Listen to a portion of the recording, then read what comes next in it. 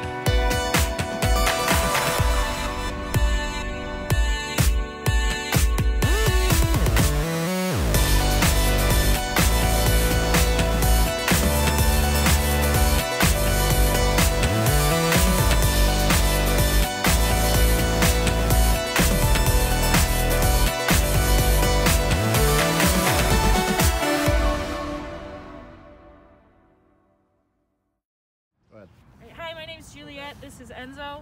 Uh, we dropped Enzo off two weeks ago and he was not able to walk on a leash. He was going everywhere. He'd run off. He didn't want want to come back to us. Um, and Matthew took him for two weeks, and we got daily updates with video to see his progress. And today we picked him up, and he's a new dog. He he sits, he goes to place, he comes when we call him. So we're excited to have him back.